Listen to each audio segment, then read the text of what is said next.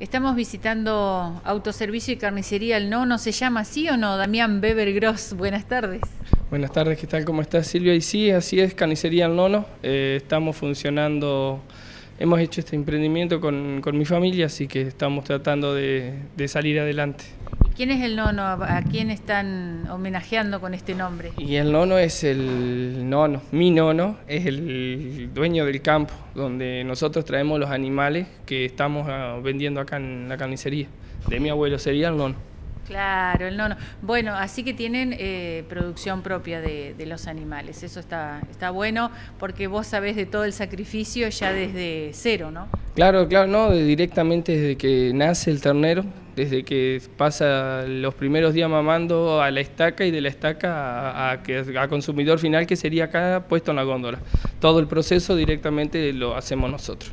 Bueno, acá es una tradicional carnicería muy conocida de, pero no sé cuántos años estuvo el Blanco, ¿sabes o no? Y él estaba hablando acá en este lugar, estuvo 41 años más o menos aproximadamente, es lo que yo, él me ha contado, y después estuvo trabajando, alquilando acá enfrente en los Riffel y después estuvo en la municipalidad también un tiempo, así que calculaba que más o menos unos 50 años de carnicero tiene que tener, alguna que otro año debe, debe de saber de carne.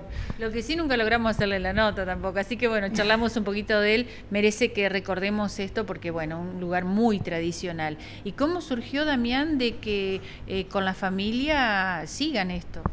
Y primero en principal yo estuve eh, afuera en el norte viviendo y he vuelto en enero. Cuando volví, eh, yo ya en el norte me hice carnicero.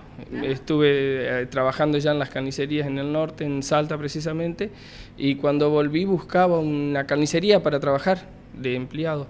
Y vine a pedirle trabajo al blanco y el blanco me dijo, ¿te la alquilo? Como chiste, ¿no? Y me dice, no, que por el momento no.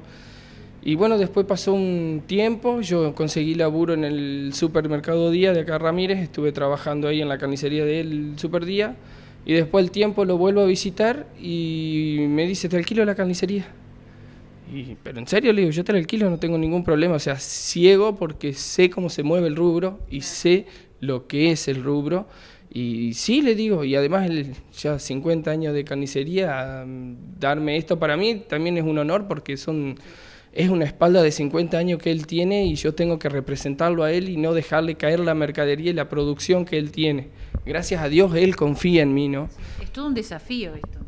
Sí, desafío mucho porque no solamente con la atención al público, sino que gracias a Dios el blanco me ha dado las recetas, que son las cosas que no, no, no suelen darse, que un carnicero pase a otro pero él me dijo, yo te doy todo, inclusive hasta con la cucharita que preparaba el ah. preparado para hacer los chorizos, y que todo, todo eso me lo, me lo ha cedido, así que yo inmensamente agradecido y bueno, así le estoy respondiendo, ¿no? Trabajando duro y parejo, de lunes a lunes y a full, todos los uh, días. De lunes a lunes, así que venimos el domingo a buscar el asadito y también vas a estar. El asadito, el carbón, la papa, la verdura, el, vino, eh, si están por hacer fideo con salsa, está la carne molida. La carne molida quiero destacar que sigue siendo como la hacía el blanco siempre, es picada en el momento. Me demoraré un poco, eh, lo tengo que decir, me demoro un poco más y me vienen, me piden dos kilos, tres kilos de carne molida, pero yo la pico en el momento, o sea, la gente ve lo que se lleva, que es lo principal que siempre quise hacer en una carnicería yo, demostrarle y que la gente se lleve lo que se tiene que llevar y que vea que la producción que nosotros hacemos es pura. Qué bueno, eso es importantísimo, una gran cosa que has aclarado. Pero Damián, eh, también hay otro, otra cuestión en estos tiempos, ¿no? Estamos mirando constantemente los noticieros, estamos mirando constantemente la situación del país, qué hace el dólar, qué no hace el dólar, la economía para dónde agarra. Eh, nosotros vamos para un lado, los números para el otro. Eh, también es un desafío por ese lado. ¿Cómo, eh, ¿A partir de cuándo arrancaste y cómo te afecta? Y bueno, yo arranco el sábado que pasó, el primero de septiembre. Una semanita. Una semanita, hace una semanita que arranqué. Pero sí, el viernes justamente, ese viernes antes de abrir, el dólar se fue a 41 pesos. Yo me miraba con mi novia, con Jacqueline, y decíamos, ¿qué hacemos? Y, no, vamos, porque no nos importó la situación del país. La situación del país, el noticiero, si yo me pongo a ver el noticiero, no lo abro. Si yo me pongo a escuchar lo que dicen los noticieros grandes, no me voy a abrir porque todo, todo mal, para ellos está todo mal. Y no es así. O sea, no está, no está tan mal. Pues vos salís a la ruta y vos ves los autos con la chapa patente última. Ves autos cero kilómetros por todos lados. Eh, la gente viene y consume y tiene que comer la gente. La gente, o sea, vos ves en verano y el que no se va a Punta del Este se va a Brasil. Entonces, el país, o sea, está mal, pero no sé hasta dónde. Porque yo sé de gente de Ramírez acá que veraneó en Brasil. Eh, quizás te digan, pero fue el año pasado. Pero Vamos a ver qué hacemos este año. Y sí, pero el año pasado dijeron lo mismo que están diciendo ahora. O sea, es cierto. Hay que arremangarse. Yo lo que digo y lo vivo diciendo, o sea, el que quiere salir adelante va a salir adelante, pero se tiene que levantar a las 6 de la mañana. Mi política es que a las 6 de la mañana hay que levantarse y salir a laburar. Los otros días con mi novia nos quedamos hasta tarde haciendo chorizo para el otro día poder tener los chorizos. O sea, hay que, hay que laburar, no queda otra, hay que, hay que trabajar. Qué lindo, y sos joven, Damián, eh, sos chico, o sea, digo chico en el sentido de que por ahí vos decís, la juventud le cuesta emprender y, y, decir, bueno, el que te está escuchando, no levantarte a las 6 de la mañana, ¿de qué estás hablando? Eh, quizás es mayoría esto, ¿eh? cuesta mucho hacer estos sacrificios que usted, están haciendo ustedes. Eh, la mami también está, eh, la hermana también está, están toda la familia. Claro, mi mamá y mi hermana, o sea, ellas también, y mis suegros también, o sea, son, somos gente, toda gente de laburo. Yo con mi hermana hemos laburado en el campo, yo desde que tengo uso de razón, mis viejos son tamberos. O sea, nosotros siempre hemos, y levantarse a las 6 de la mañana un domingo, para venir a la carnicería y tenés que tener en la espalda un poco de dignidad de trabajo para poder lograr hacerlo. Y yo creo que es mucho el miedo que... Somos vagos, vamos a decirlo a lo criollo, somos vagos. El que no se levanta porque no tiene es porque es vago. Hay que levantarse, remangarse y salir a trabajar, a buscar el pan. Y eso que además de toda esta metodología de trabajo que llevas adelante y de la que vos hablás, eh, también tenés una vida y en esa vida te dedicas a hacer muchas cosas que te gustan y quizás te acostás una hora nomás a veces. Claro, sí, exactamente. A veces, o sea, justamente ahora con este emprendimiento que yo me he largado a hacer, estoy, hasta que yo me acomode, estoy un poquito fuera de, de mis gustos, que es el folclore, que es bailar folclore y estaba bailando con reflejo.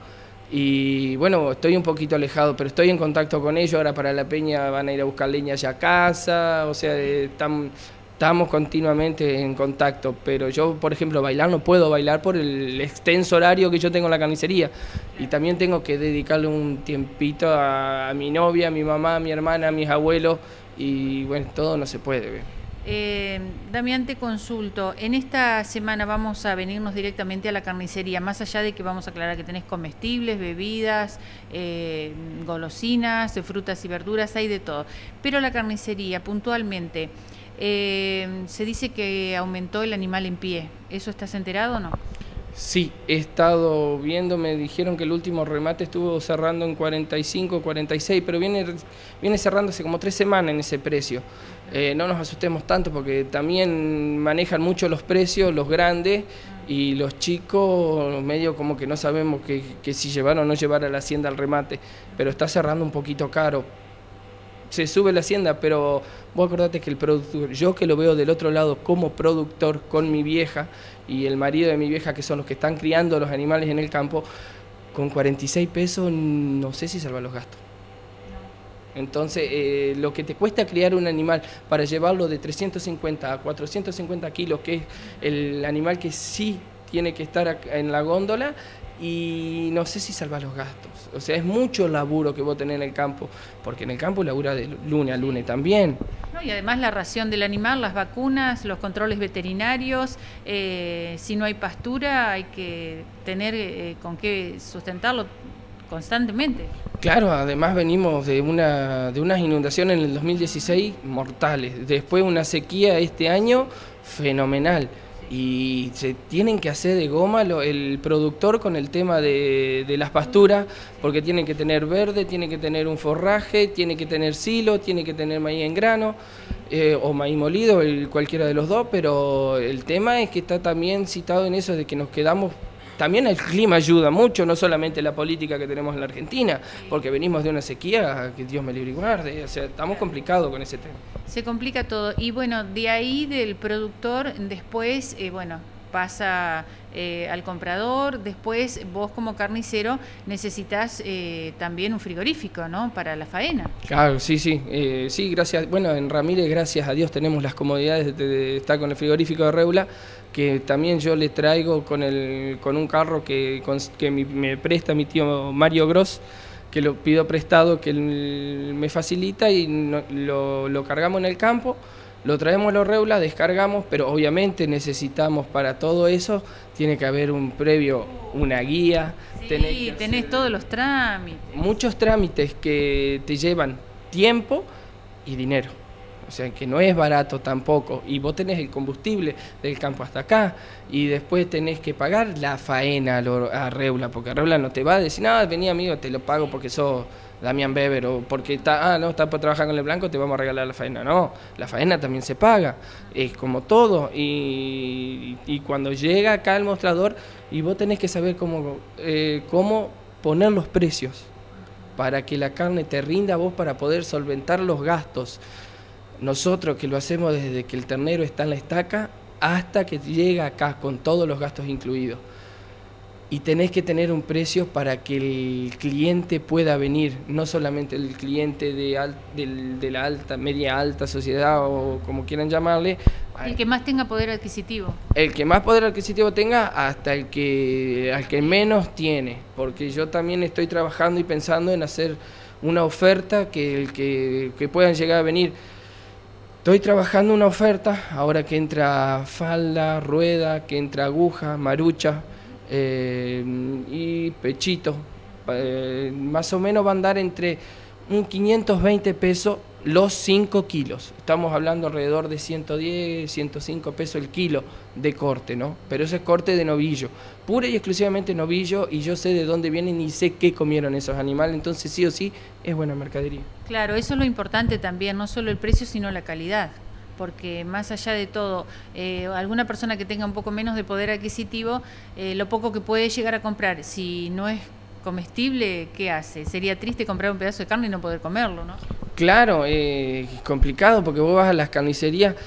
Mira, yo he estado en muchas carnicerías donde vos decís no podés trabajar así. vamos a decir lo que es.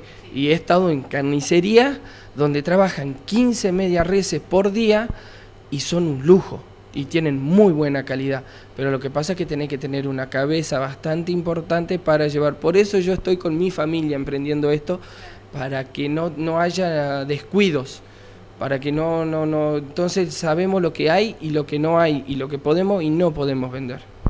Bien, eh, la verdad que, bueno, no sé si me queda algo por preguntar con respecto a la carne, Damián, decime, aclarame, porque para eso vinimos hoy a visitarte más que nada. Y no, aclarar no sé tanto, lo que sí yo vivo diciendo de que acá lo que yo tengo y voy a seguir haciendo es la tradición del blanco, que voy a, y él obviamente, gracias a Dios lo tengo al lado, así que hoy de mañana ya anduvo, vino, pispió un poco las medias, esto cortarlo así, hacerlo así, me está ayudando para saber cómo que me dé rentabilidad la mercadería y que el cliente pueda venir a comprar esa mercadería. Porque estamos hablando, hoy me llegó una factura de, de, la, de la faena y me vino una boleta con el aumento de la carne. Eso queríamos saber también. Y hay un aumento de entre 3 a 4 pesos. Y yo no lo voy a aumentar. No lo voy a aumentar porque si no, no va a venir la gente a comprar.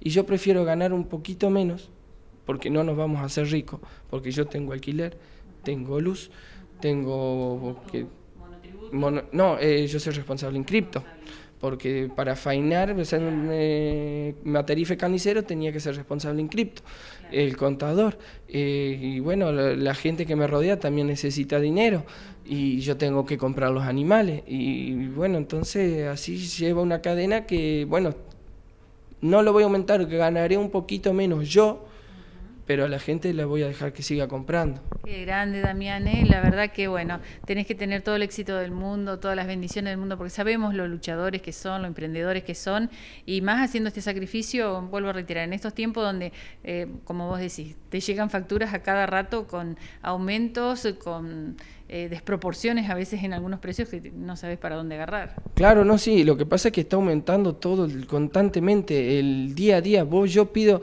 ¿me podés mandar una, un- una factura con los precios? No, no te puedo dar precio, no, no damos precio. Eh, cuando te compras te digo, o, che, eh, yo mañana necesito, mandame tres medias y te dicen, no tenemos precio.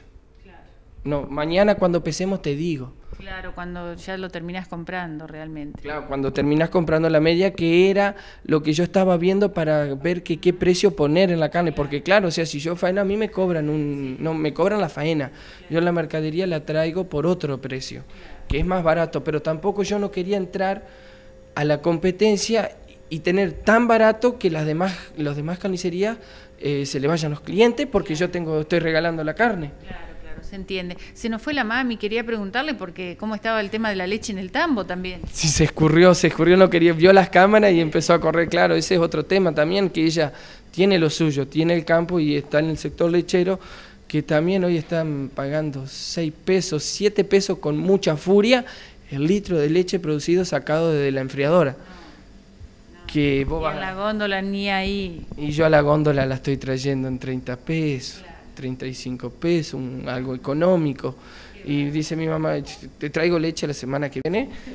Claro. Claro, vendamos leche directa del campo. Leche directa del campo, la saco la enfriadora, la traigo en el envase y la vendo acá, pero claro, Sí, hay otros protocolos ahora para eso. También antes íbamos con la botellita o el Keslien, ¿no? claro, el que es bien- sí, yo me acuerdo siempre que había un señor, un señor que andaba en carro, que iba a la casa de mi abuela Elena, con los tachos, no me acuerdo cómo se llama ese hombre, que te sacaba leche del... eh, Llega a agarrar bramatología ahora, te, pero te mata. Déjame aclarar, quiero agradecer rotundamente a la gente del municipio porque supieron solucionarme un problema que yo tenía que sí o sí tener rápido la habilitación para hacerme carnicero matarife, porque si no tenía habilitado el local no me hacía carnicero matarife. Y la gente del municipio, o sea, nos pidieron papeles, nos pidieron un par de cosas, nosotros fuimos, se lo llevamos y una chica Eva, Eva, Eva también se movió muchísimo y nos ayudó y la verdad que la gente del municipio, vos les llevas las cosas, les pedís las cosas y hacen las cosas. Así que yo me tengo que bajarle el sombrero al municipio y decir que realmente se han movido como se tienen que mover. Bueno, horarios y dirección. Eh, Eva Perón 524, las de lunes a domingo, de 8 y media de la mañana a una y media de la tarde. El horario de la mañana lo hago así por la gente que sale, que yo estaba en el supermercado día, por ejemplo, y a las dos y media ya cerraba. Y me y pasaba gente, me decía, che, ya cerraron, sí, cerramos, porque, uh, yo salgo a las una, y no, le digo yo, vamos a hacerlo a las una y media. Ojo, yo a las 8 de la mañana, siete y media, yo ya ando acá dando vuelta. El que pasa y ve un cartelito, golpea o algo, yo no tengo problema, le abro. O si ven que son las 2 de la tarde, 3 de la tarde, y yo ando dando vuelta porque, claro, yo la producción, yo hago milanesa de cerdo, milanesa de carne, milanesa de hígado, y tengo que hacer esas milanesas. Y tengo que hacer el chorizo. Y hago, hacemos chorizo mezcla y hacemos el chorizo con tocino, que dijo el Blanco que eso hay que hacerlo. Y hacemos salame. Entonces no me dan las 10 horas en el día para elaborar, atender al cliente. Entonces fuera de horario, sí o sí, tengo que producir algo. Qué grande, Damián. Bueno, muchos éxitos. Nosotros estamos a disposición. Cualquier novedad o cualquier cosa que necesite. Lo que ustedes quieran, cuando ustedes quieran, están dispuestos, necesitan saber algo, no duden en venir, que nosotros estamos acá con los brazos abiertos esperándolo. Y desde ya los clientes los esperamos para que vengan a, a probar, que vengan, se animen a- y prueben nuestros productos, que son productos de calidad y yo sé de dónde vienen. Y el día que yo, porque, o sea, no vamos a llegar con toda la hacienda, seguramente yo estoy teniendo más o menos 18 o 19 animales que están listos para la producción de faena, pero va a llegar un momento que me voy a quedar sin carne. Gracias a Dios, yo a la- en la zona donde yo estoy eh, hay, hay productores que tienen animales y ya les dije, eh, sí, Damián, no hay drama, te vamos a vender, así que, o sea, la faena, la carne va a ser siempre la misma. Y yo voy a salir a ver qué carne es, porque gracias a Dios el blanco me llevó a la feria, me dice, ese animal tenés que comprar, ¿por qué? Porque está así, así, así, así. Ese no, ¿por qué? Porque está así, así, así. Gracias a Dios tuve un muy buen maestro. Qué grande. Y bueno, vamos a aclarar de 17 a 22 también. De 17 a 22 de lunes a sábado. Los domingos no, los domingos me voy a la cancha de Nobleza, así que no hay chance. Pero a la mañana sí. A la mañana sí, a la mañana sí, de ocho y media a una y media, seguro, ya a las una y media sí, los domingos nos vamos. Gracias. Damián. Bueno, muchas gracias a ustedes y buenas tardes.